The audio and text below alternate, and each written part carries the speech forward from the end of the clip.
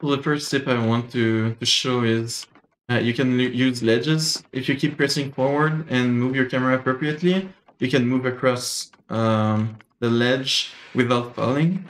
Uh, of course, you could decide to fall, but um, most people that are going to follow you uh, are going to fall uh, and they won't be able to chase you. So that's a useful one. And then there's the obvious just cutting corners instead of, you know, um, running around. You're saving not much, not much, but you know that might be the difference between, uh, I don't know, a great axe player chasing you and um, you being able to, you know, uh, get some distance over them. Uh, then again, you can still use other ledges.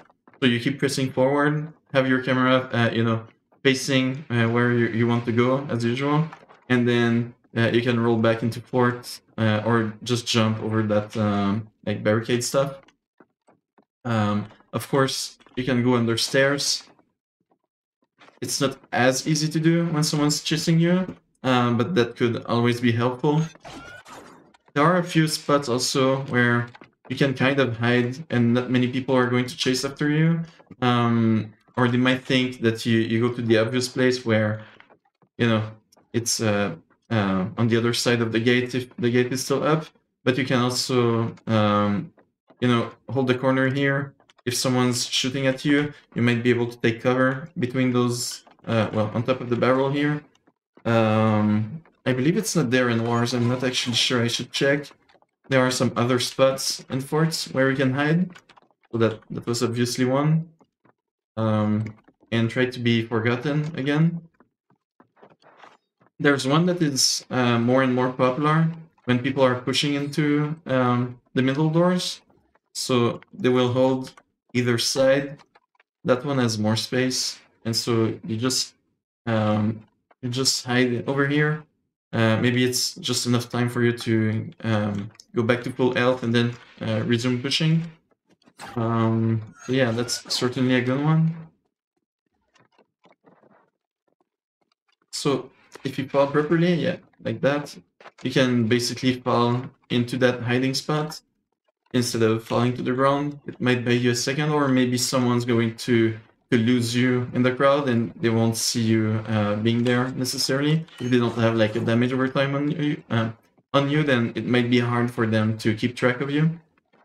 Uh, then there's also the obvious, you can, oh, I can grab it, uh, you can grab uh, the ledge uh, all, um, all over here. Um, it saves you time mostly if you go in that direction because you don't have to go all the way around, of course. Again, you could use that ledge to run around. And then use the stairs uh, as an obstacle if someone's chasing you. But yeah, there's also that spot. Um, so right over here, some people just hide. And of course you attract less attention if you're crouching.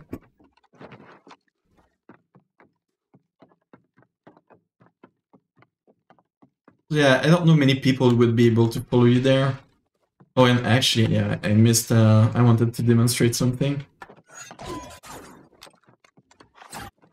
So there are a few, a few spots that you can hide outside the fort as a defender. Um, not for very long because someone's gonna notice you, but so you can hide like right here. Nobody, nobody's going to see you unless they saw you hide there. Um, so yeah, you can do that. And I'm sure there are others, but like that's another one I know. One sec. Yeah, right there in that corner. You can hide here. Uh, maybe you're losing control of the ramparts. Uh, you're waiting for the next wave of respawns, and the Dex, uh, the opposing opposite team Dex is taking control on top ramparts. Uh, I'm not sure where they could be, but anyway. And you don't, well, of course you could hide over here, but everyone knows about um, the spot over here. So maybe you do something a bit different and hide in this corner. So uh, that might be useful. And you can, again, use the ledges to your advantage and move around. So just keep practicing movement. There are a ton of things I never see people use. Um, I know it's very situational and you can cannot always use those uh, those uh, movement tips, Uh, but just keep practicing and you'll see um, you're going to break some ankles and it's going to make a difference. Nope, I guess I'm too thick. keep trying, like, you're gonna learn a lot.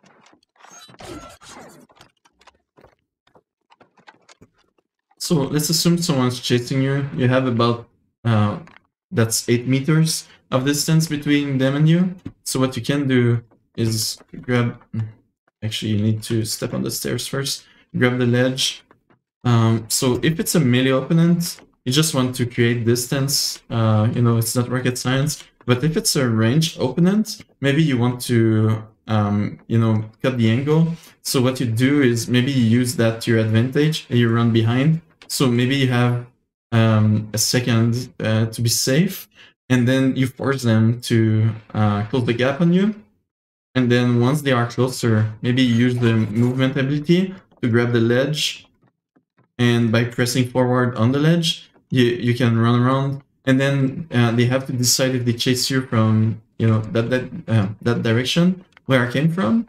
Or maybe they try to wait for you on the other side. But uh, if they do that, then you can always drop, um, go down there, or you can pop back up over here. So it's very tricky and it's hard for people to follow you.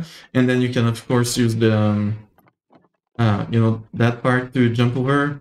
You can um, run around the stairs, those stairs too. Use the boxes to get back up if you want. Um, again, behind the stairs, behind the barricade. I mean, th there's a ton of stuff that you can do to just practice your movement around the tower. I'm not sure you want to call that. Um, but yeah, just keep practicing movement. Uh, you're going to break some ankles. You're going to survive more often.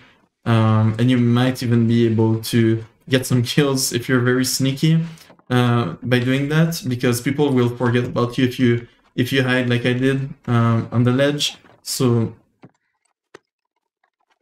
just one sec, going back there. So let's say you stand there for, I don't know, five, ten seconds. Uh, and yeah, of course, you can shoot people uh, um, going in the back. Actually, I believe, yeah, yeah, you, you can. So yeah, it's it's an angle that nobody's gonna expect in a war. Um, if you're in defense, uh, if you're on defense, of course.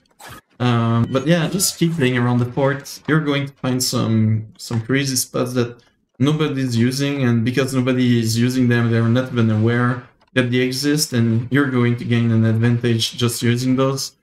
Um, some of my favorites actually are defensive spots. Um, so when I whenever I, I play Dex, which is always in Wars, um, and maybe I'm losing control of the ramparts, the other team's Dex, or I I don't know that their kill squad is is pushing and you know flushing everyone out of the ramparts. Um, so yeah, there's of course the ledges as I showed that you could you could use, and they have to decide if they follow you or just leave you alone because well it's annoying to get there and they might lose their position. Um, or um, what you could also do uh, you know, uh, apart from using obvious spots that pretty much everyone knows, like behind those boxes, you can hide it in some of the corners in the fort, and uh, I swear it's like having a, a um, an invisibility cloak. Like nobody checks for um, those corners, uh, like the inside uh, corners of the port, because someone should um, who's you know responding at C flag. Uh, well, that's A flag and C gate, I, uh, I should say so someone responding there, going to C gate, is not going to, you know, uh, look over there. He's looking uh, at, at his team position over, over here. Maybe he's distracted by people on the rain, ramparts where I am right now. Um, but he really doesn't, um, you know, care about that, that spot. It's, it's actually, I don't want to say hidden, but, you know, it's, it's not a large angle that you have uh, to see someone hiding here. And so if someone's responding from C point, they won't uh, take like that weird angle look over there. Like nobody nobody hides there, um, but more people should, in my opinion. Obviously, you won't uh, you won't be using those corners often, and you would only use them if you're really getting pressured. um, but it's always good to have them in mind. Um, yeah, you crouch, press forward in the corner, and for some reason this one is trickier to use than the other. I don't know why.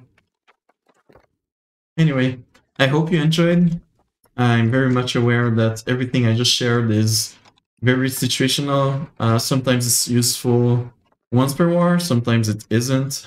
it really depends on the other team. If they know uh, of some of, um, of those hiding spots, then they will look for people hiding in those hiding spots. But if they don't, um, then it might be uh, some opportunity for you to survive or I don't know, get your potions cooldown off um, while being safe or just being forgotten when you're on top ramparts, but you're still losing the control of the top ramparts and uh, you want to pop back uh, on top of ramparts instead of losing all the control control you had. Anyway, uh, I just hope uh, that was helpful for you and um, uh, hopefully you're going to be able to break some ankles and win some more.